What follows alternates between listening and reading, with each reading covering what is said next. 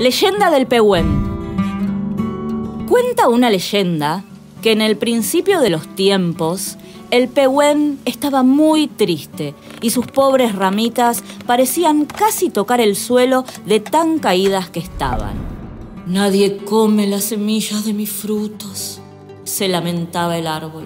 Una liebre patagónica que por ahí pasaba, viendo que el arbolito lloraba, le preguntó cómo lo podía ayudar.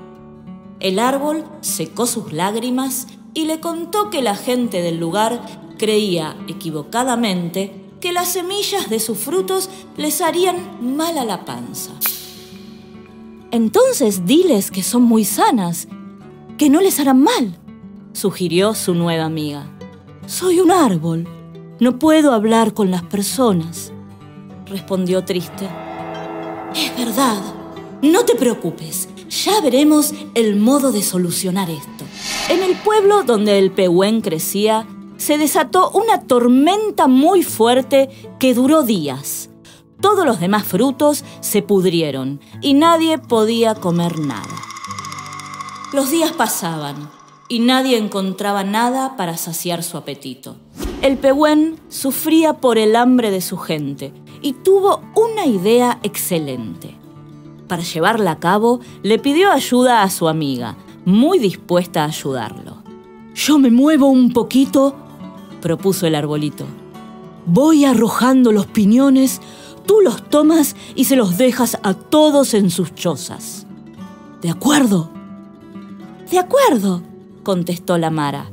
Yo me encargo de abrirlos con mis dientes para que puedan tomar sus semillas. Así lo hicieron, y en poco tiempo cada choza tenía un montón de semillitas a su disposición. ¿Crees que dará resultado? preguntó ansiosa la liebre patagónica. Tienen hambre. Algo deberán comer, contestó esperanzado el árbol. Sin embargo, cada habitante del pueblo miró con desconfianza a las semillas. Tenían mucha hambre, pero el miedo era mayor y además no sabían qué hacer con ellas. El árbol miraba con tristeza sus frutos, y una vez más las lágrimas corrieron por su tronco. No te rindas, dijo la liebre. Tú tienes mucho para dar. Mostrémosle que si quieren podrían hacer un pan, sugirió. El pehuen, deseoso de compartir con quienes quería lo mejor que tenía de sí, tuvo otra gran idea. Como sus gruesas hojas aún conservaban gotas de agua de la tormenta, salpicó con ellas cada montoncito de semillas, mientras la Mara amasaba un precario bollito, algo parecido a un pan. Es el hambre que me hace ver visiones, o el árbol y la Mara están amasando, preguntó el más viejito de la tribu. Eh, bueno, creo que... creo que algo quieren decirnos, dijo un niñito entre asombrado y dudoso.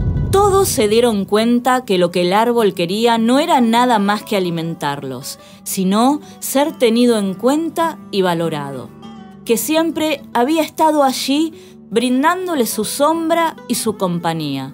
Entonces, y por primera vez, intentaron hacer pan con las semillas de los piñones. Tal vez por el hambre, tal vez por la actitud del pehuen y la liebre, lo cierto es que niños, adultos y abuelitos comieron el pan hecho con sus semillas y le pareció el más rico que hubiesen probado jamás. También aprendieron a hacer bebidas y nuevas comidas con ellas. Desde ese día comenzó una amistad que duraría por siempre entre los habitantes de la Patagonia y ese gran pequeño árbol.